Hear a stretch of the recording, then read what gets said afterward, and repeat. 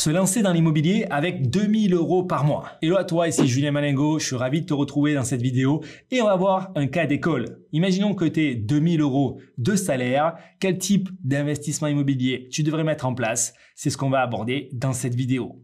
2000 euros de salaire, c'est simplement 700 euros de mensualité, d'accord? Auto actuel pour une capacité de financement de 130 000 euros. La question qui va se poser, c'est donc quoi faire avec 130 000 euros? Moi, tu sais, j'aime pas la copropriété, j'affectionne les immeubles, les maisons à diviser. Une maison à diviser avec 130 000 euros, ça va être un peu compliqué. C'est pour ça que du coup, ça nous laisse l'immeuble de rapport. L'immeuble de rapport, on peut en faire pour 200, 250, 300 000 euros et on peut en faire pour 150 000 euros. D'accord? Donc moi, je vais partir sur cette stratégie-là. 150 000 euros, l'immeuble de rapport, il va falloir soit trouver 20 000 euros d'apport, soit négocier 20 000 euros par rapport du coup au, prix, au prix demandé. D'accord? 150 000 euros le projet, si on arrive à l'acheter moins cher, potentiellement ça passe dans ta capacité de financement. Pour ça, c'est un petit immeuble, 100 mètres carrés, dans lequel il y a trois appartements, trois studios, trois T2, d'accord? Ça va faire 90 mètres carrés, 85 mètres carrés avec les parties communes, 100 mètres carrés. Ça, on l'achète 100 000 euros. Grand maximum, idéalement 80-90 000 euros. Derrière, on fait pas de gros travaux, d'accord? On fait du rafraîchissement. De cette manière, on va arriver à avoir en location longue durée nos trois studios, euh, d'accord, nos trois T2, disons 3 T2, 500 euros, ça fait 1500 euros. Je t'ai dit, la mensualité dans ce projet, elle est de 700 euros.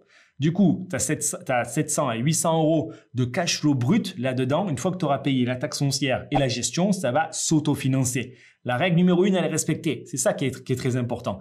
80% du euh, loyer doit représenter 100% de la mensualité. On s'arrête pas là. C'est pas comme ça que tu vas devenir entier. Si tu as choisi la ville correctement, 20 000 habitants minimum, entre 1500 et 2500 euros du mètre carré, tu vois, alors du coup, on va pouvoir faire la location courte durée. La location courte durée basique, là, typiquement dans ce genre de ville, c'est au minimum 60 euros la nuit, x 3 parce que tu as trois appartements, d'accord, sur une euh, vingtaine de nuits en moyenne. Ça nous fait 3600 euros euh, de euh, recettes locatives, donc de chiffre d'affaires par mois. À ça, dans le pire des cas, tu vas prendre une conciergerie qui va gérer pour 20% du coup de commission sur le chiffre d'affaires. 3600 moins 20%, ça nous fait 2900 euros euh, de chiffre d'affaires euh, net. À ça, on va lever la taxe foncière, on va lever euh, les assurances, on va lever les provisions pour les petits travaux, etc.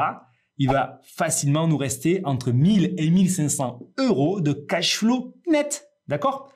Ça, c'est possible partout en France, dans les critères que j'ai dit. Il y a 180 villes dans lesquelles on investit. Ça marche très très bien, même pour un budget compris aux alentours des 150 000 euros. Donc si tu as 130 000 euros, tu me trouves un petit peu d'apport ou tu vas négocier plus fortement pour faire une meilleure affaire.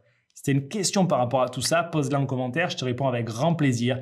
Télécharge des e-books pour éviter de faire des erreurs et on se retrouve très vite dans la prochaine vidéo. Ciao